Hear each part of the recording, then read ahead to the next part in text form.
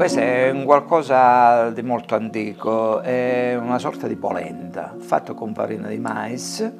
e insaporita con eh, legumi eh, ed ortaggi, ecco perché si chiama afrascatua, perché viene, viene messa, eh, ci vengono messe dentro tanti pezzettini di cose per dargli un sapore, sapore diverso.